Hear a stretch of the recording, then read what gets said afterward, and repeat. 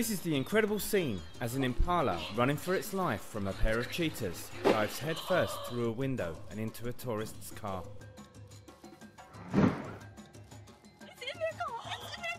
A group of South African girls have been enjoying a day at the Kruger National Park when they witnessed the amazing scene. A herd of impalas suddenly began leaping across the road just a few feet in front of their car.